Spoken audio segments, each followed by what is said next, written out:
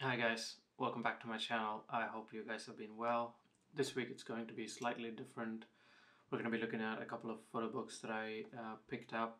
Um, I didn't do much shooting in the last couple of weeks because of the uh, lockdown restrictions that were in place in the UK. So one of them is In Passing by Ian Howorth and the other one is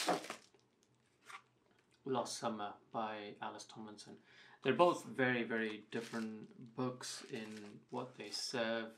Um, Ian Howorth is a photographer that I've been following for quite some time now, um, and I just love the use of color and how he uses composition to sort of beautifully show um, everyday visuals. I just love his style of work and this is his second book. Uh, his first one was called Arcadia, which was sold out, and that's how I kind of got to know him.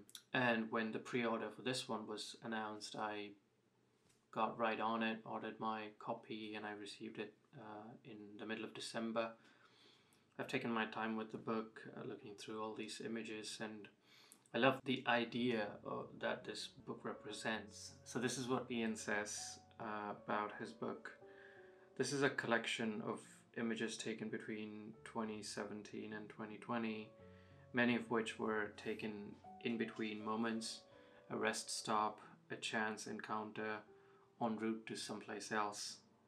I, I love this book and I highly recommend you guys to pick it up if you're into film photography and if you're trying to get inspired and uh, in trying to shoot things that are around you, especially in these times where COVID has restricted us in our ability to travel.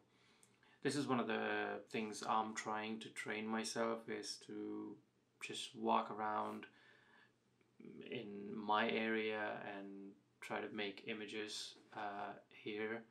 Um, and so this book serves uh, as a big inspiration for me and I'm sure it will be for um, you guys as well if this is something that you're into.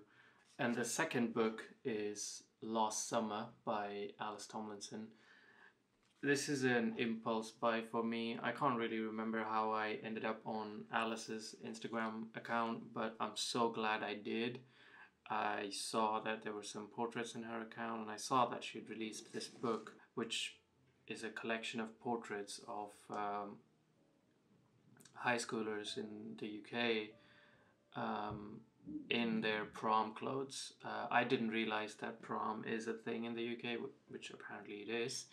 Um, so I love the idea that Alys has went and shot images of these um, kids in their prom clothes. This this doesn't replace their the loss of prom in in the summer, but it definitely is something that serves as a um, beautiful memory that you know has is going to live forever in the form of this book.